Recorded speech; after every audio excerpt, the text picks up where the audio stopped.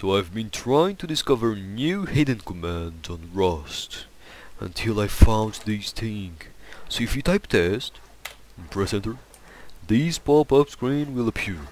Oh, very strange. Oh, Garry, Garry's here. Oh, do you know who Garry is? Uh, Garry, I think, is uh, one of the main developers of the game.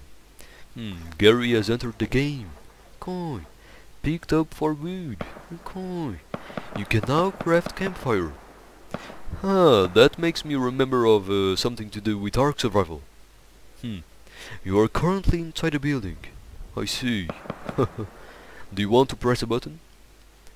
Hmm. This makes me think there is something else on this Easter egg we can discover. Ah, I see also Rust Alpha, Win, 643832 dev. Huh.